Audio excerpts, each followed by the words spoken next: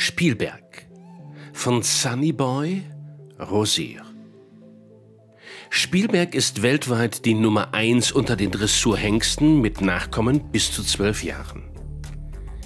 Pferde wie der auffällige Suppenkasper, Domino und Diego sind für diese Spitzenklassifizierung verantwortlich.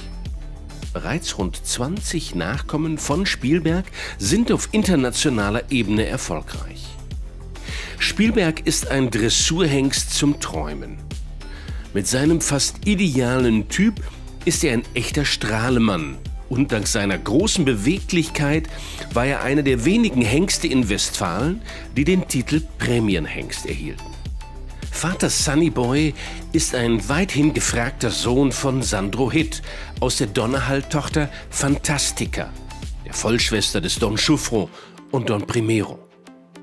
Spielbergs Großvater Rosier bringt das wertvolle Blut von Rubinstein I mit, das auch das Pedigree von Spielbergs berühmtem Stamm, der Olympiastars Alerich, Rembrandt und Amon stärkt. Die Mutter Rosira Spielberg geht auf die Roncalli-Tochter Rondula zurück, ebenfalls Großmutter des Grand Prix Dressurpferdes Last Minute von Ilka Kerstin Geis. Neben Größe und Modell verleiht Spielberg der Dressurpferdezucht auch einen enormen stabilen Charakter. Außerdem gibt Spielberg viel Rhythmus und Ausgewogenheit in der Bewegung.